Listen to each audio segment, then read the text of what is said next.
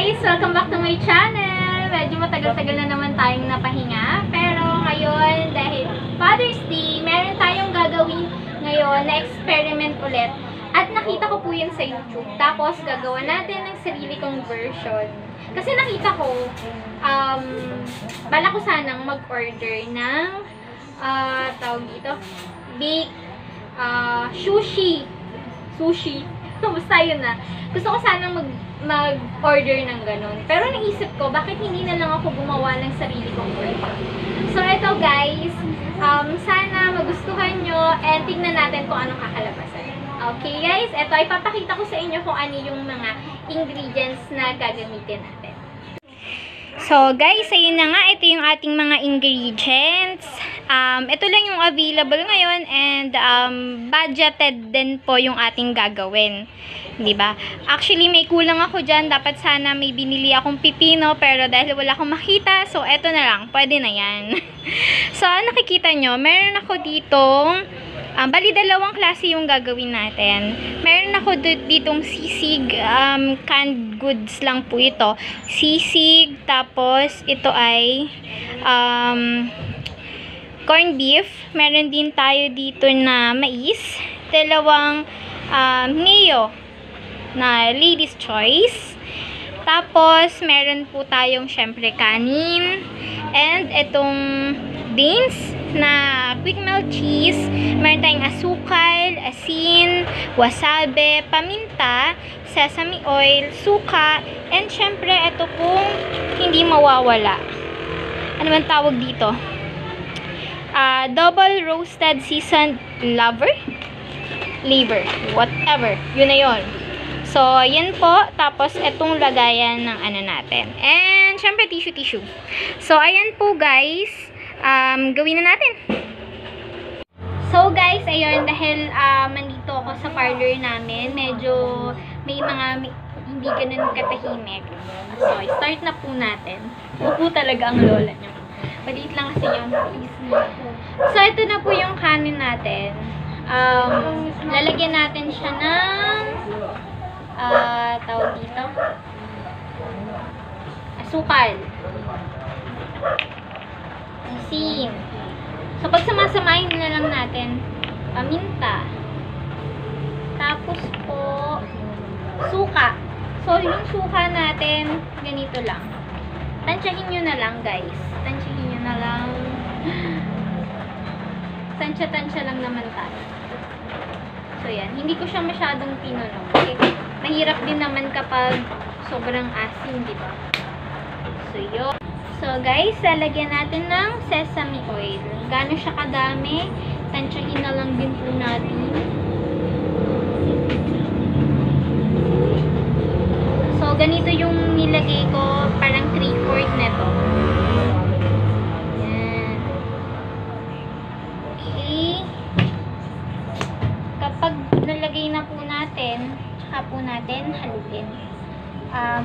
Pwede din kasi lagyan din to ng sesame seeds. Pero, ah, dahil budgeted po tayo,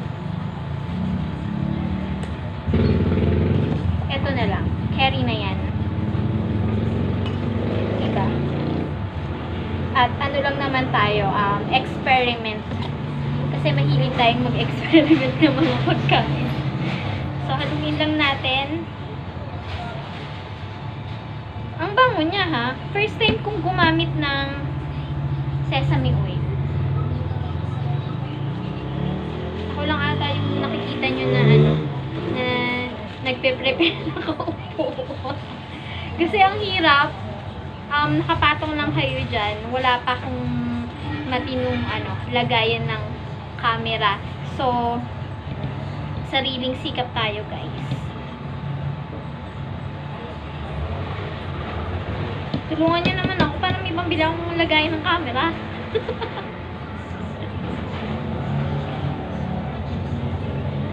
okay. Tuloy lang natin ng maigi.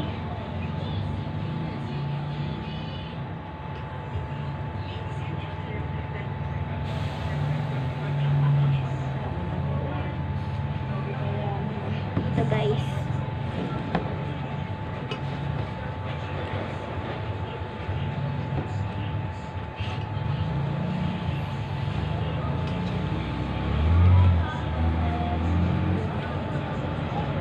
Pwede na siguro ito. Yan. So, pagkatapos na natin mahalo yan, unahin na muna natin itong um, bali, ah, wait lang. Lagyan natin ng konting wasabi yung kanin. Konti lang. Kasi baka naman sobrang maanghang eh. Mahirap na hindi natin makain. So, konti lang.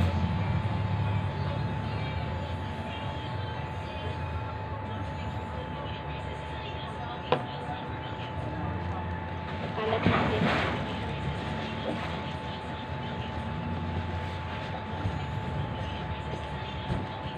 Kasi based dun sa napanood ko, hindi siya maglalasang Korean-Korean kapag walang wasabi.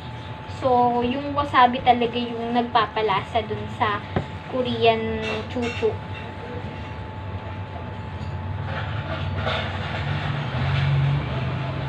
So, ito guys, um, dalawa na yung magagawa nyo.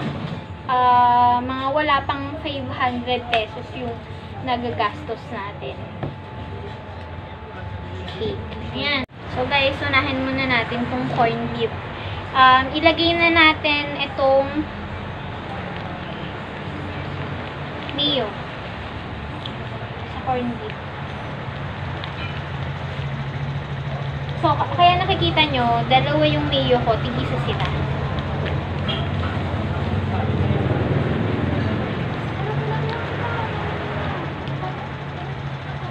Tapos, isama na rin natin itong mais. Na lata din po ito.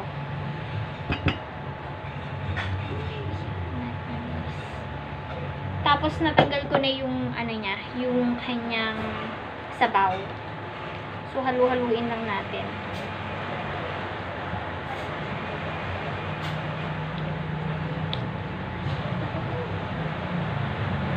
Hindi ko alam kung anong kakalabasan nito. Pero sana masarap. Kasi, ito yung iaano ko kay tatay mamaya. Kasi nga Happy Father's Day. Tapos, sila tatay, kahit na linggo, kahit na ano ay gumagawa pa rin. O, di ba napakasipag nila. Meron silang installation kasi ngayon sa aircon. Sana naririnig nyo pa din ako, no?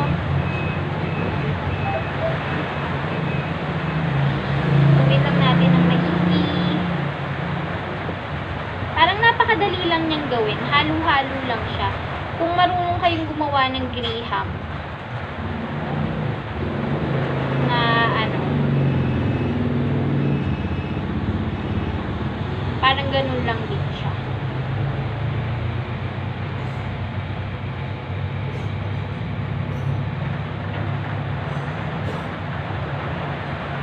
So, ito na nga guys.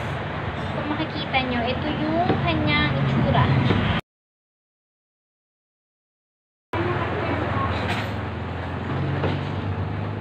So, haluin na rin natin to guys. Para isahang paglalagay na lang.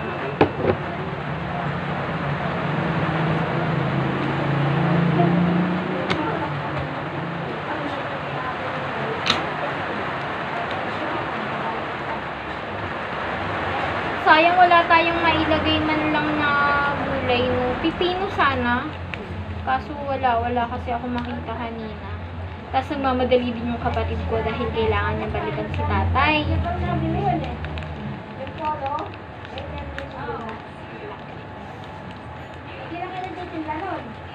Yan. Haluin lang natin ulit. Dapat sana yung mayo ng ano, Korean mayo. Kaso wala tayong makita ulit and para tipid na rin, tinipid talaga eh no. Siyempre, pandemic pa ngayon. Kailangan maging ano tayo, budget friendly pa rin. Kahit may mga okasyon. Ang importante, na iraraos natin ng maayos. At walang sakit. Sama-sama lang kakain ang pamilya. Diba? Masaya yun. yun na nga yung parang masasabi mong blessing talaga sa buhay.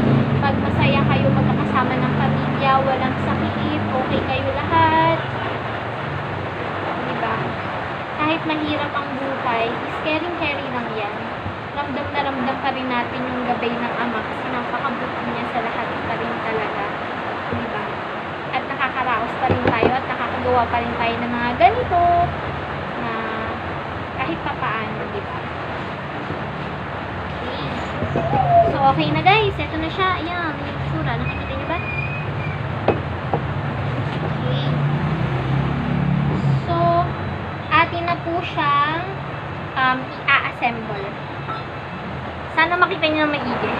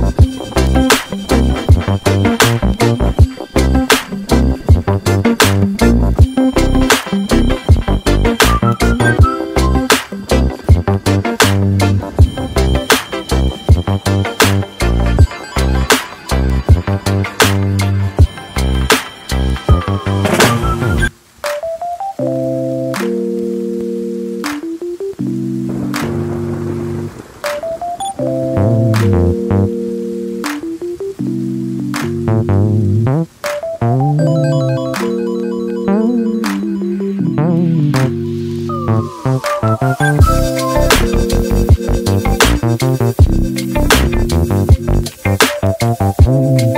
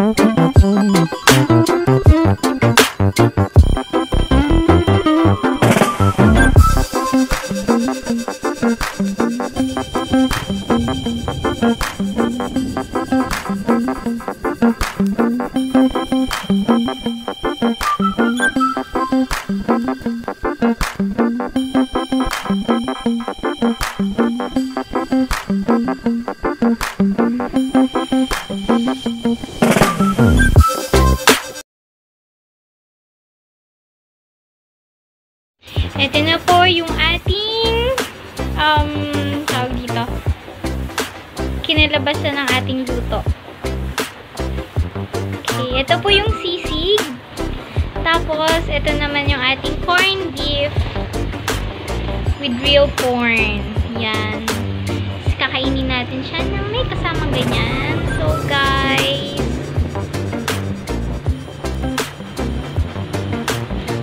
ito na po siya. Medyo na-overcook po ito. Ito naman is tamang-tama lang. Nabantayan natin ng maigi. Okay, guys? So, guys,